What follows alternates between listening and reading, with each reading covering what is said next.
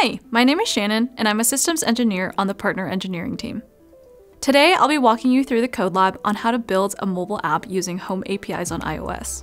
By the end of this video, you'll know how to build an iOS mobile app using the Google Home APIs, how to use the Device and Structure APIs to obtain and control devices in the user's home, how to use the Commissioning APIs to add Matter devices to the Google Home ecosystem, and finally, how to use the Automation APIs to create, delete, and edit a smart home automation.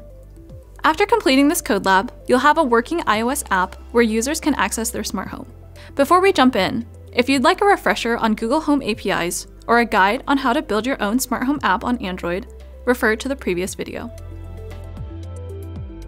Alright, let's get started. First, ensure that you have the following. The latest version of Xcode installed, an iOS device running iOS 16.4 or greater, set up with a test account, a compatible Google Home Hub for Matter devices, and a compatible smart home device, like a light or an outlet. For the latest version requirements, scan the QR code on the screen to check the Developer Center. If you don't have your own smart home devices, we have virtual devices you can use. Google Home Playground for cloud devices, and Matter Virtual Device for Matter devices. Use the QR code on the screen to go to the Developer Center. There you'll find instructions on how to set up your virtual device and how to link your device to the Google Home app. And lastly, you will need an Apple ID enrolled in the Apple Developer Program to generate the provisioning profile. Now let's go ahead and set up your project. First, we'll clone the sample app source code from GitHub. The sample app contains two branches. Start, which contains the starter code where you'll be making changes to complete the code lab, and Finished, the completed code, used to check your work. Throughout this code lab, you will find to-do blocks within the Start branch. These mark the sections where you will add code to implement the required functionality. Our app requires that the app attest capability be enabled, so we'll also need to create Apple deployment configuration files. Note that this also means the app must use a physical iOS device and cannot be deployed to simulator devices. You'll find instructions on how to create Apple deployment configuration files at the QR code shown on screen. After successful setup, let's open the source code with Xcode. Connect your physical iOS phone and we can run the sample app. Now that we have our environment, we need to set up our authentication process. The Home APIs use OAuth 2.0 to grant access to devices in the structure. OAuth allows a user to grant permission to an app or a service without having to expose their login credentials.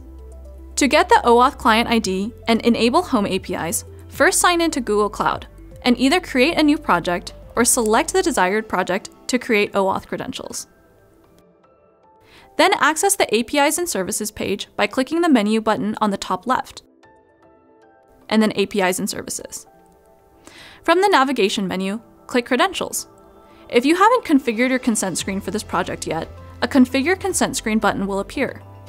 If your OAuth consent screen is already configured and in testing status, ensure that the test accounts you intend to use are added to the test users group. When configuring the consent screen, select either internal or external based on your use case, and then click Create.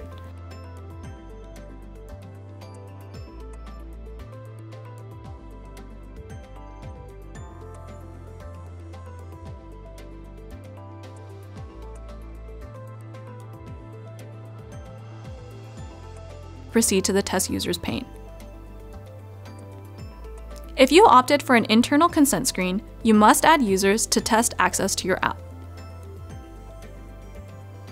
Click Add Users, enter one or more Google account emails in the empty field, and click Add. After configuring the consent screen, return to the Credentials section on the left menu panel to create your OAuth Client ID. Click the Create Credentials button and select OAuth Client ID. Under Application Type, choose iOS. Enter your app's bundle ID and Apple Developer Team ID into the respective fields. Click Create and be sure to note the generated client ID or download plist as this will be essential later for enabling permissions flow functionality.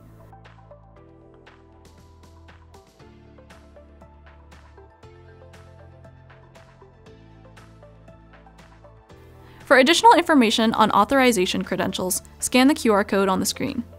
To enable access to the Home APIs, navigate to the APIs and Services tab and click on Enabled APIs and Services.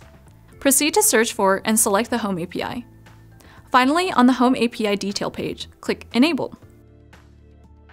The sample app also requires locally adding the SDK framework files, populating your developer account identifier information, and populating your OAuth client ID.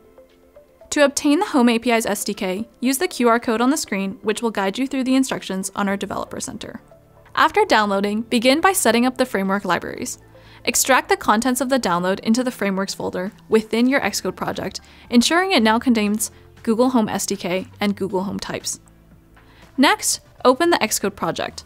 Select the Frameworks folder in the Project Navigator, and if the frameworks aren't already present, click the Add icon to add Google Home SDK and Google Home Types framework files by selecting Add Files to Project. Next, configure your Xcode project for the sample app by selecting the Google Home API sample iOS file in the Xcode navigation pane to edit the project configuration. In the General tab, select the Google Home API sample iOS target, scroll to the Frameworks Libraries and Embed Content section, and ensure Embed and Sign is selected for the Google Home SDK framework file, while the Google Home Types framework file remains as Do Not Embed. Then add the Safari Services.framework file and set its embed column to Do Not Embed. For the Matter Add device extension target, select it under Target. Scroll to Frameworks and Libraries and set the Google Home SDK Frameworks Embed column to Do Not Embed. Proceed to configure the developer and OAuth client IDs. Open the info plist file within the Google Home API sample iOS folder and populate GID client ID with your OAuth client ID Cloud Project Number with your Cloud Project Number, and GID Team ID with your Apple Developer Team ID used during OAuth registration. To add App Attest capability, select the Google Home API sample iOS project file, go to the Signing and Capabilities tab for the Google Home API sample iOS target, click Add Capability, and search for and add App Attest.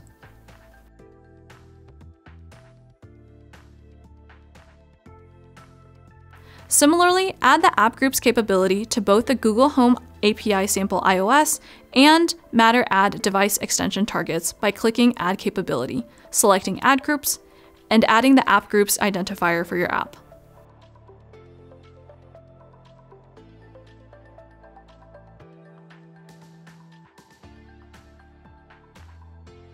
Finally, update the bundle identifier.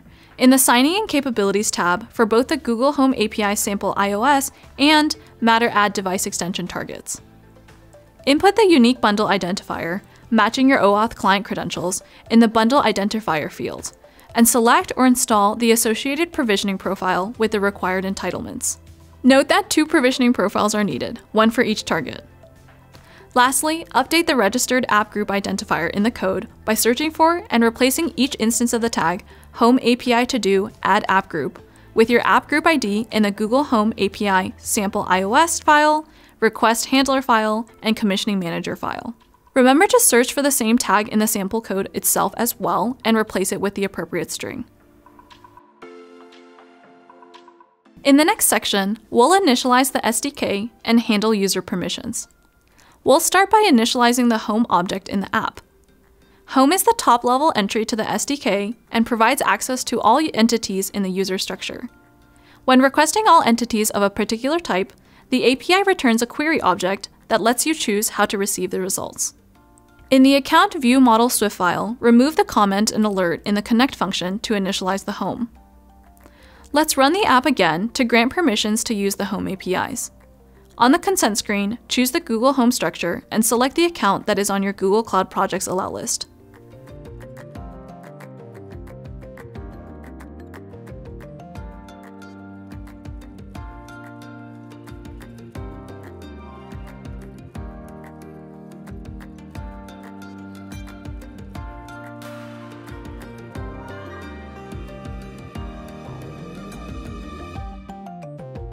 Next, we'll take a look at our device and structure APIs.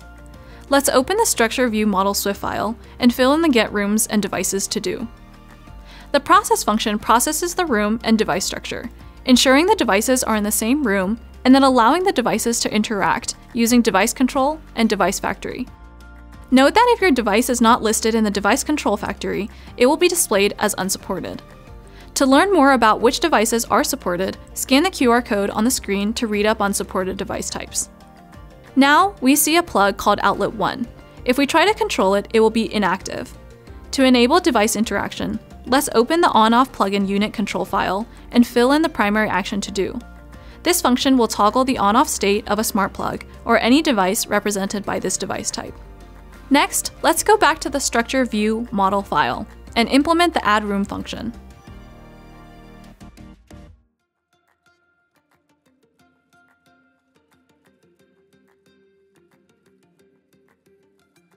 Now let's run the app again and click on the add icon. Input your new room name and click create room. Fantastic! Now we have a new room. The Structure API not only enables the creation and deletion of rooms, but also the transfer of devices between rooms. In the same Structure View model file, let's add the Move Device function. With the Move Device function implemented, let's rerun the app. To relocate the device, we'll press and hold the device in the app, select Move to another room, and choose the new room. Lastly, to delete an empty room, add the code for the Remove Room function in the same file. Running the app again, let's create an empty room by moving the device back.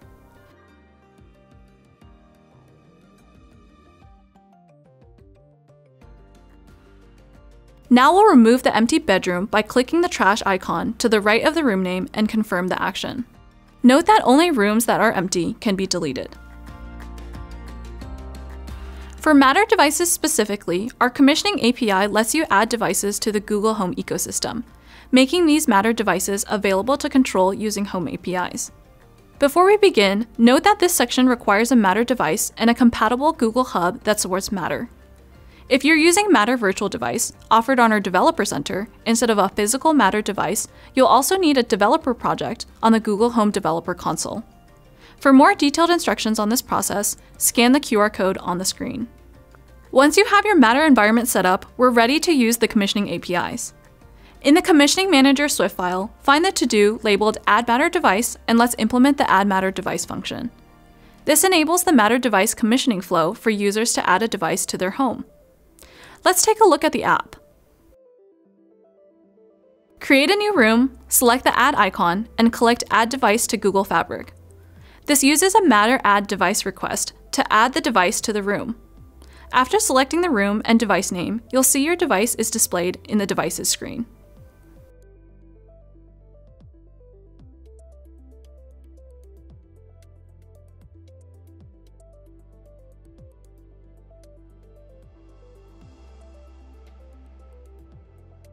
Great job! Now that we know about devices and structures, let's talk all about automations.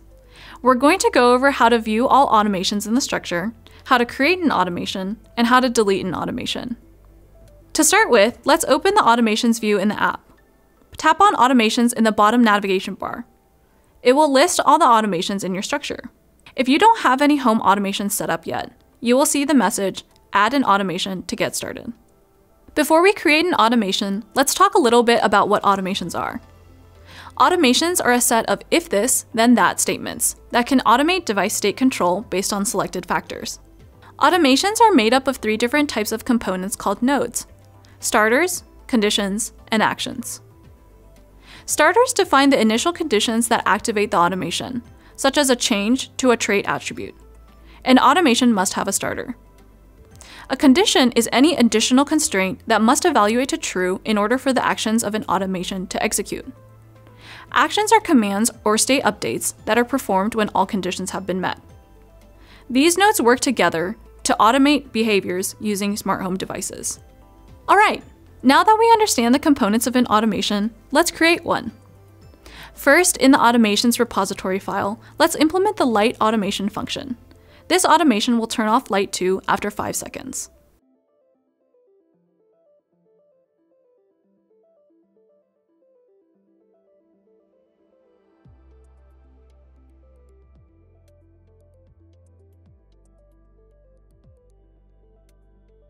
Now let's switch over to our app and go to the Automations view and click the Add button.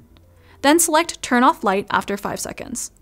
The automation details, including the starter, condition, and action will appear. Note that the available automations depend on the devices in your home. If you don't see any available automations, try renaming your light to Light 2. Okay, let's click Save to create the automation.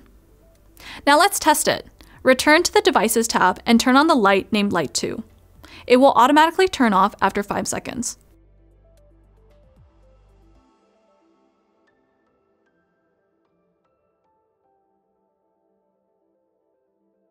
And there you go. You've created your first automation with the Home APIs.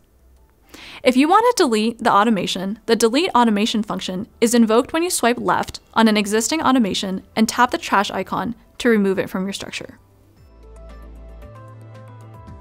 You've made it to the end of the Code Lab. Congratulations on successfully building an iOS app using the Google Home APIs. If you're interested in building an Android app using the Google Home APIs, make sure to check out our other videos. As always, the Google Home Developer Center is your go-to site for all the information on the Google Home APIs.